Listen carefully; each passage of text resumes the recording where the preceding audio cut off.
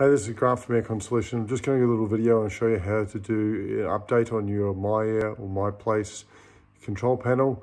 Um, we've had a few um, updates recently and just have a just need to go through and make sure we check to make sure all the uh, uh, uh, uploaded uh, or downloaded apps on your screen have been updated.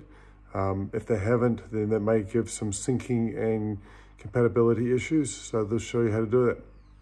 So just on your screen, we just want to go into the main or the app page.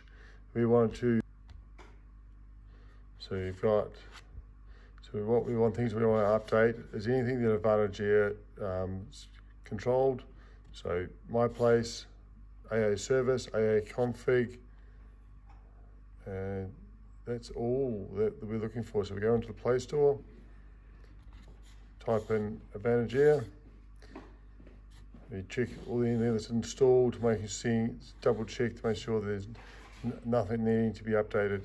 I've already done all my updates on my screen. You just tap on it. If it needs to be update, updated, you'll see it will say the word update. You tap on the update and then it'll do the update.